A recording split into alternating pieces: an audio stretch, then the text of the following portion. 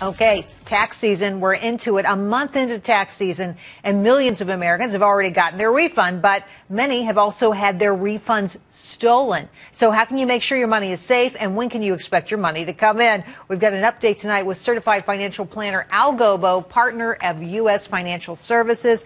Welcome back, Al. Um, so the numbers, I guess, speak to a pretty decent uh, return year so far. Seven million refunds uh, filed for and received, and that's about twice the amount you would normally see at this time of the year. What's going on? Yeah, I think, well, first of all, they claim that about 75% of people who file get a refund. So all those folks want to file early, file quickly and get that refund as soon as possible. We just need UCF uh, uh, financial advisors to get our information out and in the mail quickly. That's correct. that, that, that's a problem. I mean, we've had folks calling, you know, where's the 1099 for this or for that? And, and by law, usually they have to have it by uh, March 1st, but, you know, it's been delayed a little this year. Like How much is that average refund, though? The average refund, they say in America right now, is about $3,500.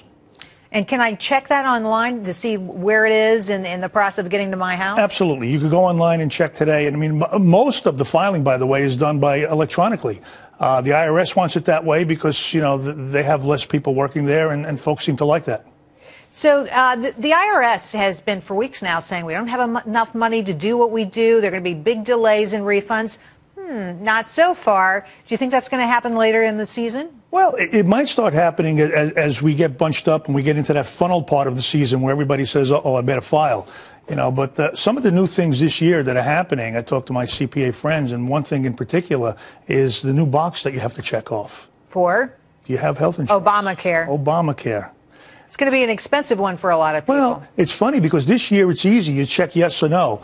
Next year you're going to have to prove it companies, insurance companies, are going to be sending you what's called a 1095 uh, to make sure you have it. But if you don't have insurance this year, okay, could be $95 a person in a penalty. Up to 1% of your income. 1% of income. Yeah, a lot of Whichever people. Whichever is greater, by the way.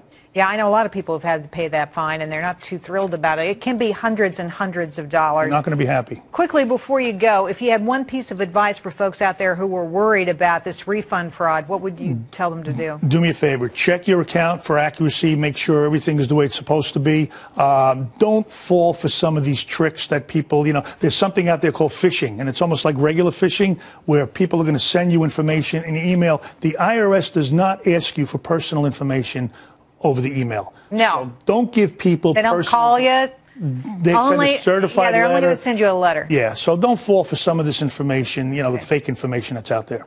Al Gobo, good to see you. Thank you. Great to see you.